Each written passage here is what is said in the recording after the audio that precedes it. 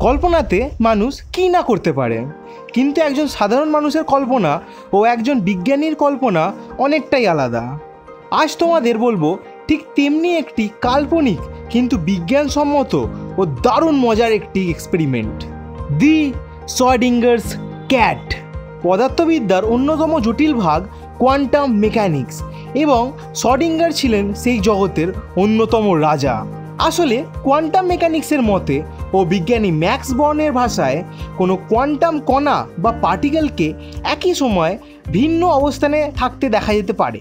এবং যতক্ষণ না তুমি সেই পার্টিকেলকে অবজার্ভ করছ, তুমি জানতে পারবে না আসল অবস্থানটি কোনটা। তাই এই বিশেষ গুণটিকে নিয়ে মজা করতে গিয়ে শডিঙ্গার বলেন, ধরো, একটি বাসকে একটি বিড়ালকে তুমি ভরে রেখেছো এবং একটা রেডিও অ্যাক্টিভ বোম ভিতরে রাখা আছে। যার ফাটা বা বিস্ফোরিত হওয়ার সম্ভাবনা ফিফটি পারসেন্ট তাহলে বাস্কটা বন্ধ করার পর তুমি জানো না বিড়ালটি এখন জীবিত নাকি মৃত। তার মানে ফিফটি পার্সেন্ট সম্ভাবনা যে বিড়ালটি জীবিত এবং ফিফটি পার্সেন্ট সম্ভাবনা বিড়ালটি মৃত, যা ওই বোমটির ফাটার ওপর নির্ভর করছে।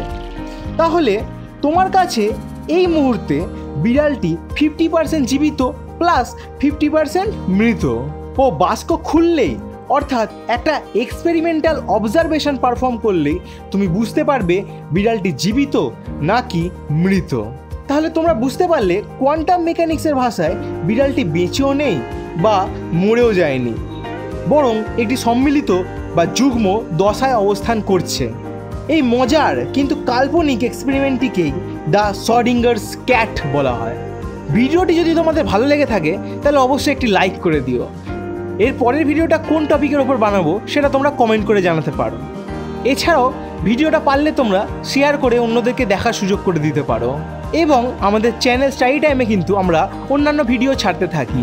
আর যদি তোমাদের মনে হয় যে আমাদের এই হার্ডওয়ার্ককে অ্যাপ্রিসিয়েট করা দরকার, তাহলে আমাদের কাছে আছে এখন একটা জয়নিং বাটন তাহলে তোমরা সেই জয়নিং বাটনে ক্লিক করে আমাদের একটি মেম্বার বা সদস্যতা গ্রহণ করতে পারো। স্টাডি টাইম দেখার জন্য অনেক অনেক ধন্যবাদ। তোমাদের সাথে আবার দেখা হবে। Thank you